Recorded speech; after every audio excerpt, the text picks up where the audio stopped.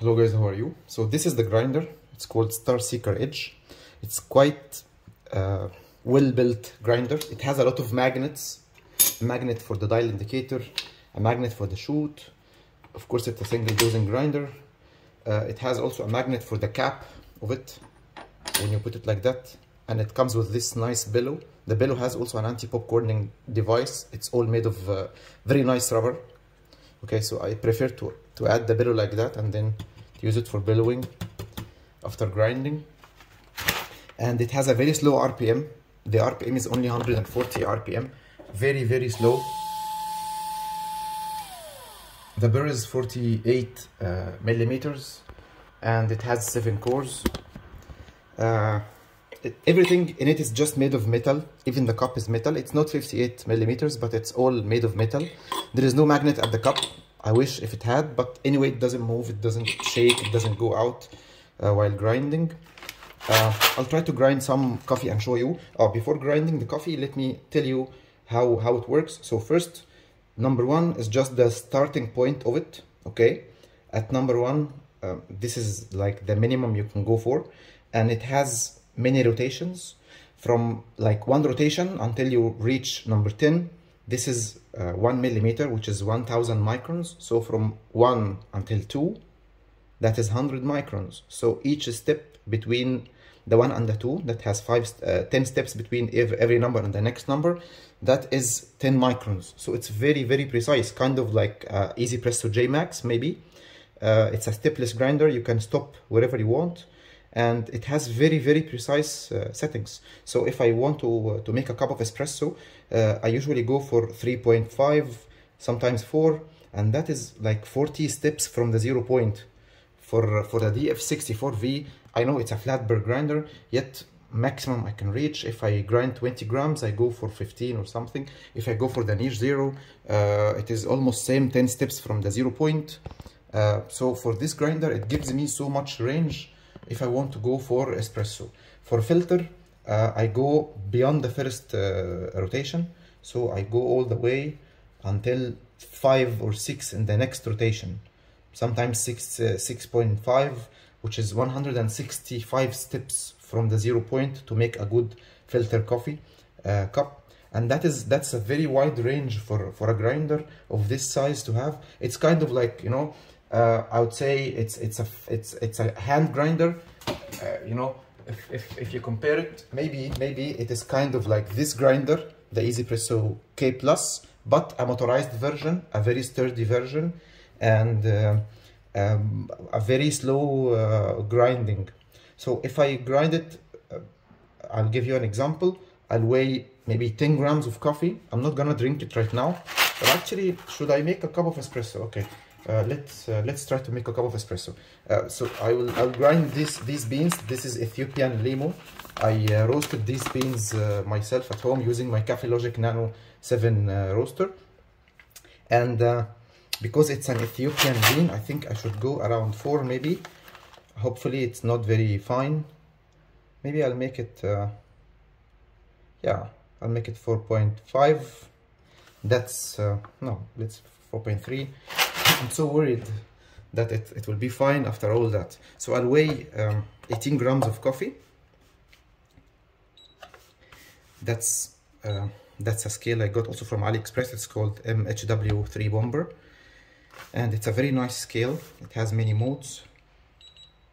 So I'll use the espresso mode right now. I weigh 18 grams. And the good thing about the grinder is that really what you put, you just get out. Very minimal or actually no retention. So right now, that is 18 grams of coffee, okay?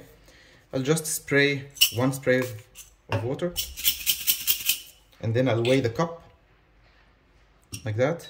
The cup is almost 90 grams, so which is which is a good thing, 80 89.7 grams. So it's it's good if you want to if you forgot to tare the cup, you will still get to see uh, I mean, get to, to know what how much coffee uh, came out in, in it, okay? So I'll turn on the grinder and I'll add the beans and let's count how much will it take to grind them.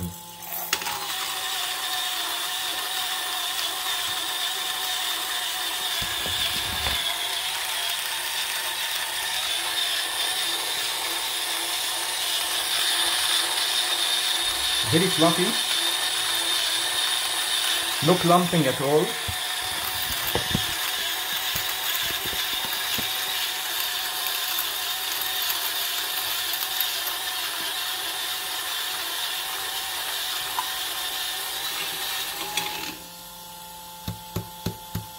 Just tap on the beller and that's it.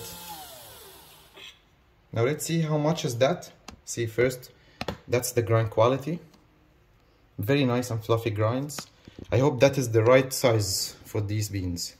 So and that's what you see just 18 grams. Exactly what you add you just get no retention at all in it. If I switch right now to filter and add 18 grams to grind them filter it will again give me the 18 grams.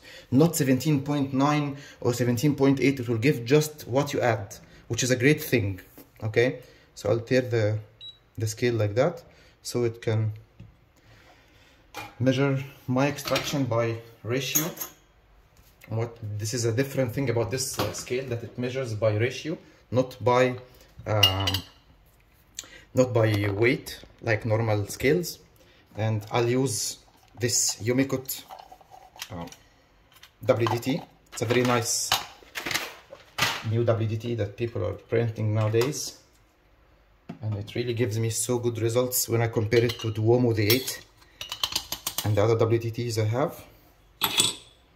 So as you see it's a big mountain. But this thing can really distribute it very well.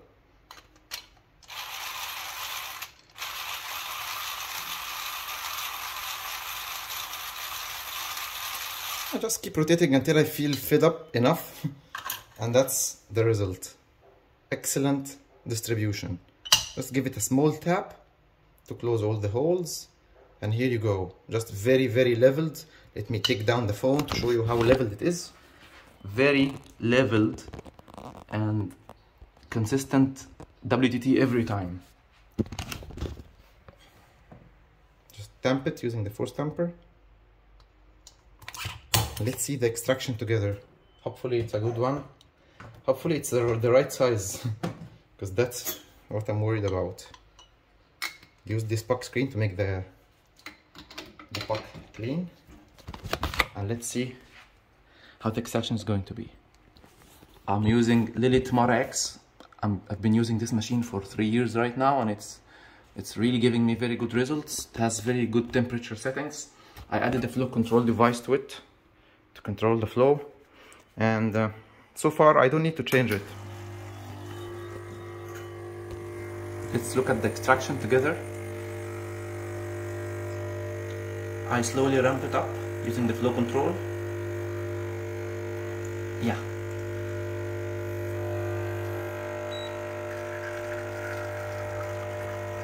See that was almost 43 or 44 steps from the zero point.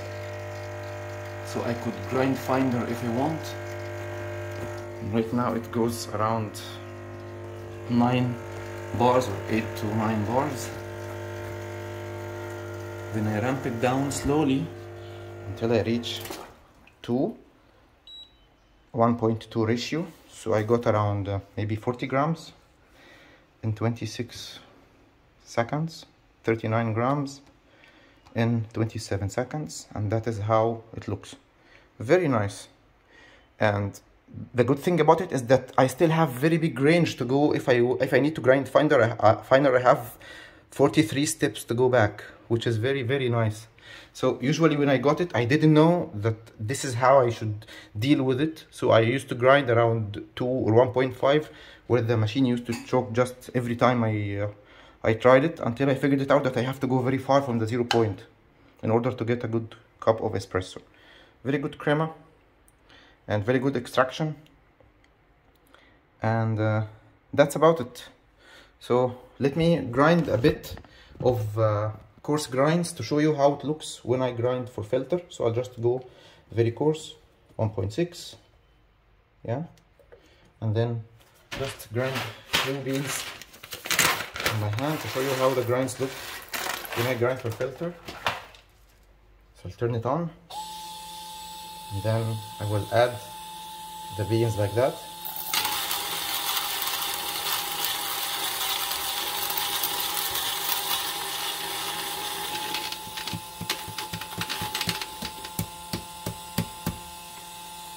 that's it. So that is the filter coffee quality that I make with it to make my V60 very nice consistent grinds.